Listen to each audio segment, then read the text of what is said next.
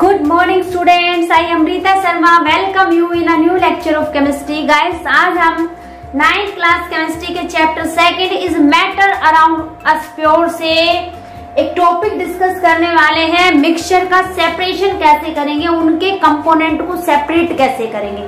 तो बेटा जो हेट्रोजीनियस मिक्सचर है उनको तो हम फ़िज़िकल मेथड से भी सेपरेट कर सकते हैं। हेट्रोजीनियस मिक्सचर का मतलब सोल्यूट और सोलवेंट के पार्टिकल मतलब जिनसे मिला करके आपने मिक्सचर को बनाया है, वो कम्प्लीटली मिक्स नहीं होते हैं। उनके लिए आप जैसे फिल्टरेशन का यूज़ कर सकते हो फिल्ट्रेशन टेक्निक का यूज़ कर सकते हो। जैसे हम टी बनाते हैं चाय बनाते हैं तो टी लीव्स अलग करते फ़िल्टर करके। सीविंग आटा जो छानते हैं, छलनी से सीविंग करके भी हम सेपरेट कर सकते हैं। बड़े हैं पार्टिकल तो हम हैंड पिकिंग भी कर सकते हैं। तो बेटा हेट्रोजीनियस मिक्सचर के लिए हम simple method heterogeneous mixture can be separated by simple physical methods like hand pick picking sieving और फिल्टरेशन आज जो इस लेक्चर में हम डिस्कस करने वाले हैं, हमारे पास लिक्विड का मिक्सचर है। दो लिक्विड इमिजिबल है। इमिजिबल का मतलब मिक्स नहीं होते। जैसे आपने ऑयल इन वाटर मिक्स करके देखा होगा मिक्स नहीं होते। एक बार तो लगेगा मिक्स हो गए, लेकिन वो मिक्स होते नहीं है। ऐसे ही कैरोसिन ऑयल को वाटर में डालेंगे तो मिक्स नहीं होते हैं। उनको कैसे सेपरेट करेंगे? बच्चों इमिजिबल लिक्विड का मतलब लिक्विड मिक्स नहीं होते हैं। तो उसके लिए बेटा, हम सेपरेटिंग फनल का यूज़ करेंगे।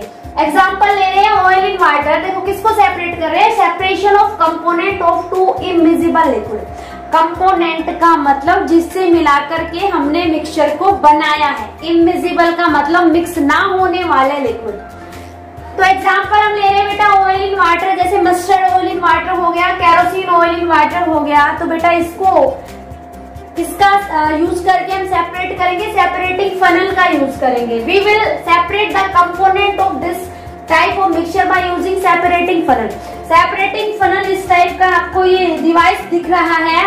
इसमें ऊपर ये एक कवर है, ये खुल जाता है। और इसको हम सेपरेटिंग फनल कहते हैं। हम क्या करते हैं?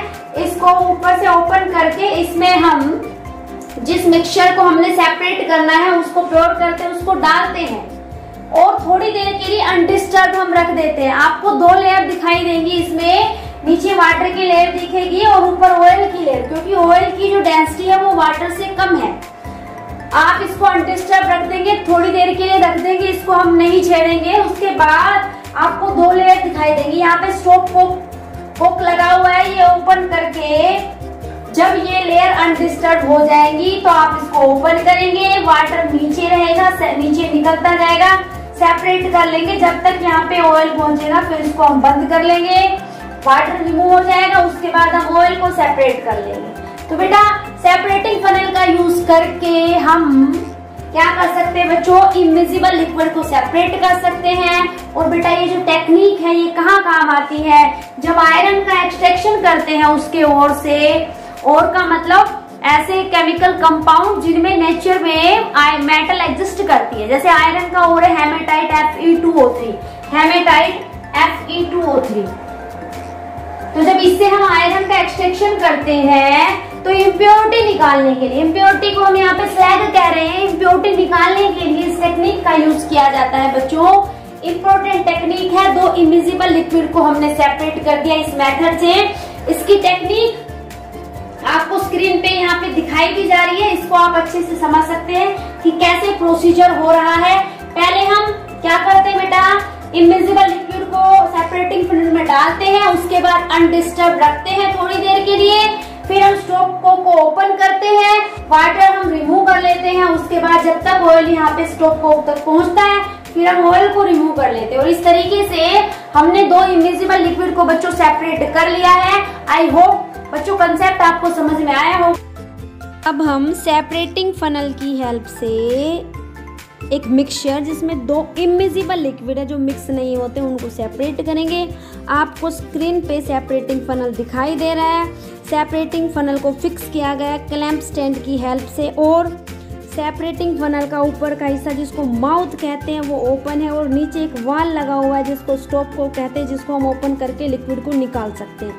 इसमें हम मिक्सचर को प्योर करेंगे जिसमें दो इमिजिबल लिक्विड है जो मिक्स नहीं होते। थोड़ी देर के लिए हम इसको ऐसे ही रखेंगे। अनडिस्टर्ब रख देंगे। फिर इसके बाद आपको दो लेयर इसमें दिखाई देंगी।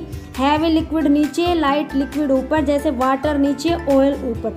फिर हम क्या करेंगे? स्टोव को को हम ओपन करेंगे और उसकी हेल्प से लिक्विड की एक लेयर को हम सेपरेट कर लेंगे, जिससे लिक्विड की लेयर सेपरेट हो जाएगी। ये बिकर में हमने सेपरेट कर लिया एक लेयर को। नौ ऐसे ही दूसरी लेयर बच गई लिक्विड की, उसको भी हम सेपरेट कर लेंगे। तो बच्चों, इस तरीके से इनविजिबल लिक्विड को हम सेपरेट कर सकते हैं। बच्चों कंसेप्ट आपको समझ में आया होगा। वीडियो अच्छी लगे तो लाइक सब्सक्राइब शेयर ज़रूर कर देना। Thank you have a nice